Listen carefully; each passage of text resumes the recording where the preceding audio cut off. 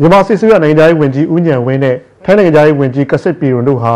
ထိုင်းမြန်မာနယ်စပ်ရှမ်းပြည်နယ်တာချီလိတ်မြို့မှာဒီကနေ့တွေ့ဆုံကြပါတယ်။ Regina Hotel မှာဒီမနေ့10နိုင်ခွဲကနေတနိုင်အထိ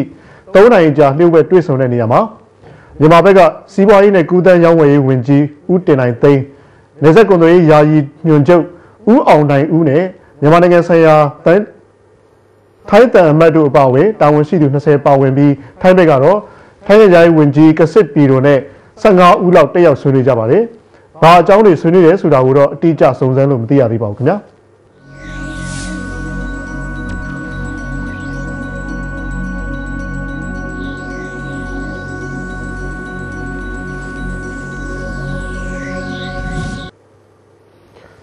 ဒီဇင်ဘာ၁ရက်နေ့က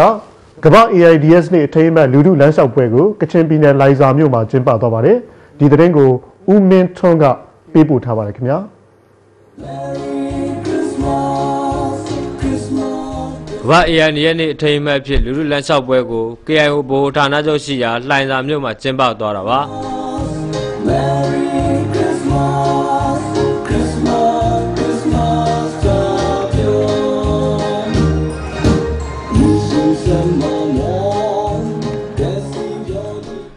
မနက်၄နာရီမှာကျင်းပသွားခဲ့တဲ့အဲ့ဒီပွဲမှာအ ကြီးတန်းနဲ့အငယ်တန်းမာရသွန်ပြေးပန်ပွဲတွေလည်းပါဝင်ခဲ့ပါတယ်အကြီးအကြီးအကြီးအကြီးလာရော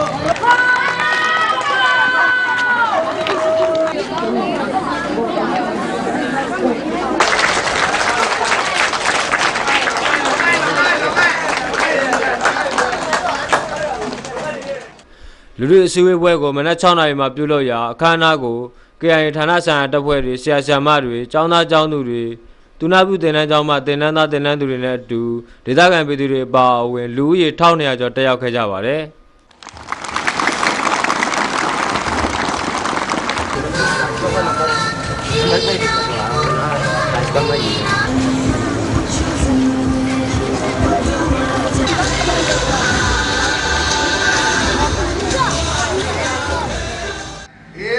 AIDS na Shams Braya bo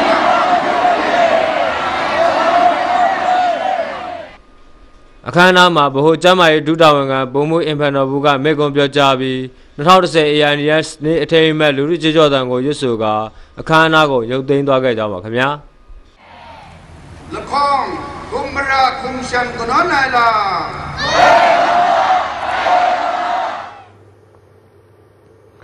မြန်မာဒီမိုကရေစီခေါင်းဆောင်ဒေါ်အောင်ဆန်းစုကြည်ကိုအိန္ဒိယနိုင်ငံကစီးလုံးသောလူမှုအဖွဲ့ကလူအခွင့်အရေးဗဟိမဆုကိုချီးမြှင့်လိုက်ပါတယ်။ ဒေလီမြို့မှာရှိတဲ့မဂျစ်ဗလီမှာ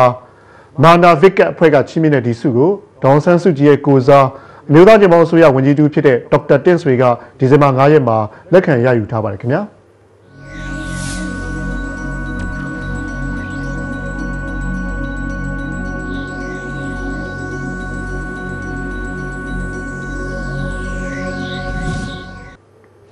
အိန္ဒိယနိုင်ငံကမာနာဗစ်ကတ်ပရီရှတ်လို့ခေါ်တဲ့စီးလုံးသောလူမှုဖွဲ့စည်းကြီးကဒေါအောင်ဆန်းစုကြည်ကိုဒီမိုကရေစီနှင့်လူ့အခွင့်အရေးဗေမဆုဒီဇင်ဘာ9ရက်မှာချီးမြှင့်တဲ့သတင်းအသေးစိတ်ကိုတော့ဥက္ကမလပေးပို့တဲ့သတင်းမှာရှုစားနိုင်ပါတယ်ခင်ဗျာ uh, Burma and Aung San Suu Kyi uh, working on the path of our uh, Bapu Mahatma Gandhi.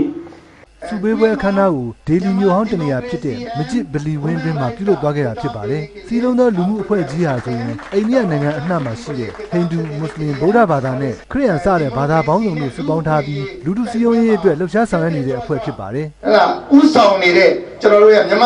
အဲသူရဲကောင်းအမျိုးသမီးဒေါအောင်ဆန်းစုကြည်ကိုအဝတ်အနေနဲ့ကျွန်တော် Queen of Human Rights and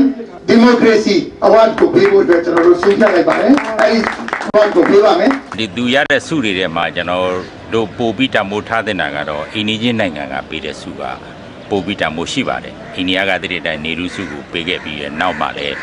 ကျွန်တော်တို့ဟိုစော်ကြီးပိုင်းက Rajiv Gandhi Foundation Memorial စုလည်းကျွန်တော်သွားယူခဲ့ဘူးသူတို့ခုဒါတော့နောက်ဆုံးစုဖြစ်ပါတယ်ခင်ဗျအဲဒီစုပေးရမြင့်အိန္ဒိယပြည်သူတွေနဲ့ဗမာပြည်သူတွေကြားနားလည်မှုနဲ့နှစ်နိုင်ငံဆက်ဆံရေးလည်းကောင်းလာဖို့ရည်ရှည်အတွက်လည်းရင်းနှီးမြှုပ်နှံမှုတစ်ခုကိုကျွန်တော်ယူဆပါတယ်ခင်ဗျ ကဲစစ်မှန်တဲ့ပြည်သူတွေရဲ့နှလုံးသားတွေကခေါင်းဆောင်စစ်ခေါင်းဆောင်မှ Queen ဟာ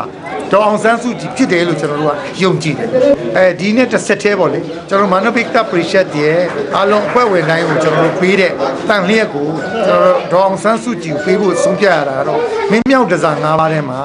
မြန်မာတို့ရဲ့ရိုးရထုံးတမ်းစင်လာအရာကျွန်တော်တို့ဒေါအောင်ဆန်းစုကြည်ကိုကွင်းအဖြစ်ကျွန်တော်တို့တန်လျက်ဆက်တာဖို့အတွက် ကျွန်တော်ကျွန်တော်တို့ဘက်ကဆုံးဖြတ်ထားပါတယ်ပေးတယ်လို့မသုံးချင်ပါဘူးဆက်တာတယ်လို့ပဲကျွန်တော်သုံးပါမယ်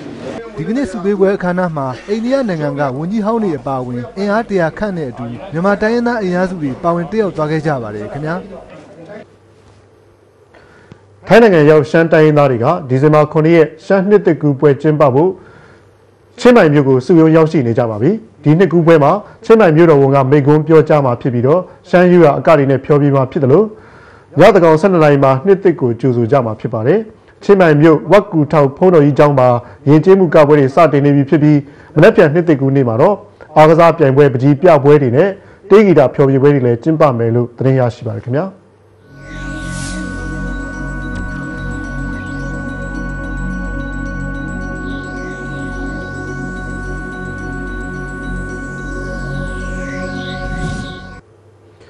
ထိုင်းမြန်မာနယ်စပ်ကမေတော်ဆေးကန်းတောင်က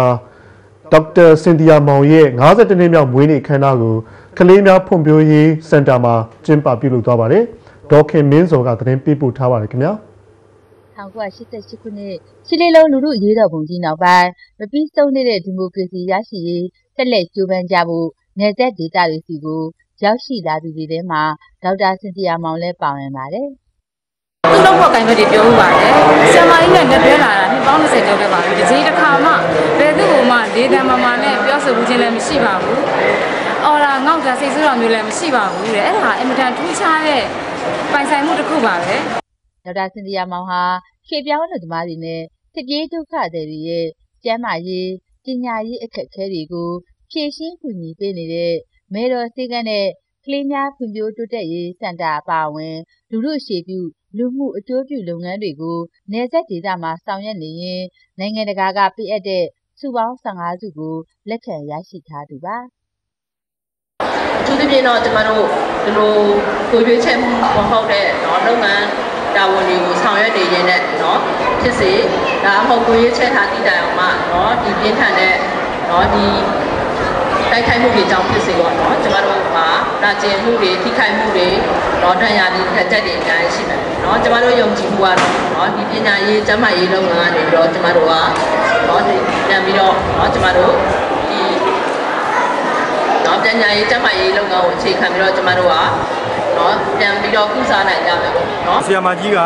ကျွန်တော်တို့ကျန်းမာရေးပညာရေးလုပ်တဲ့ပြင်မြို့သမီးအဖွဲ့တွေလူငယ်အဖွဲ့တွေနောက်ပြီးရင်ကျွန်တော်တိုင်းရင်းသားရေးရာကိစ္စတွေနောက် သူလက်လန်းမီတဲ့ကူညီဖို့လိုတယ်ဆိုတော့အဲလူတွေရဲ့ကိစ္စတွေအားလုံးကိုအဲနေမညမှာကျွန်တော်တို့စောင့်စမ်းတမန်ဆောင်ရွက်တဲ့ခေါင်းဆောင်တူလည်းဖြစ်ပါတယ်။ဒါကြောင့်မို့လို့ကျွန်တော်တို့ကဒီကနေ့အခြေအနေမှာပေါ့အဲဆီယာမကြီးမွေးနေ့ကိုကျွန်တော်တို့ကြီးကြီးကျယ်ကျယ်မလုပ်တော့လဲပေါ့သူ့ရဲ့လုပ်ပေါ်ကံပဲတွေနဲ့အဲသူနဲ့အတူတူတစ်လျှောက်လုံးပါခဲ့တဲ့အဲမိတ်ဆွေတွေအားလုံးကျွန်တော်တို့စုစုယုံယုံနဲ့အခုလိုဝိုင်းလို့ကြတာဖြစ်ပါတယ် ဒေါက်တာစင်တီယာမောင်ရဲ့52နှစ်မြောက်မွေးနေ့အမှတ်တရအဖြစ်စာပေအနုပညာပြိုင်ပွဲများလည်းကျင်းပပြုလုပ်ပြီးဒီမွေးနေ့အခမ်းအနားကိုနယ်စပ်အခြေစိုက်ဒီမိုကရေစီလုပ်ဖော်ကိုင်ပဲများနဲ့ကျောင်းသားကျောင်းသူများတက်ရောက်ကြပါတယ်ရှင်။